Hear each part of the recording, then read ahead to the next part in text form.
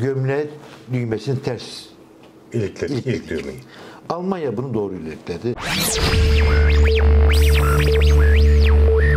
Bugün itibariyle artık ve dünyada da en ucuz enerji kaynağı güneş.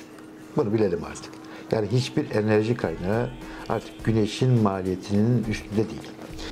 Doğru yerde mi güneş enerjisi Türkiye'de maalesef doğru yerde değil. Birisi ver gömle düğmesini ters İlikleri, İlik- ilik düğmeyi. Almanya bunu doğru ilerledi. Almanya 100 bin çatıyla başlandı. Bugün 50 civarı geçti. Her geçen gün kömür santralini azalttı. Nükleer santrallerini kapatmaya başladı. Ve yaklaşık %17 civarında bildiğimiz kadarıyla %17 civarında güneş enerjisinin bazı günler %22-23'e yaklaşan güneş enerjisinin üretimleri var. Biz maalesef tamamıyla lisanssız mantığıyla yola çıktık.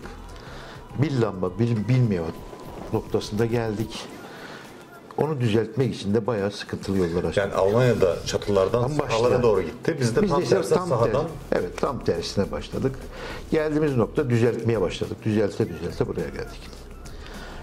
Önemli olan Türkiye'deki toplumun doğrusunu bulabilmekti. Biz bu noktada işte daha yeni yeni çatılara yeni yeni yönlenmeye başladık.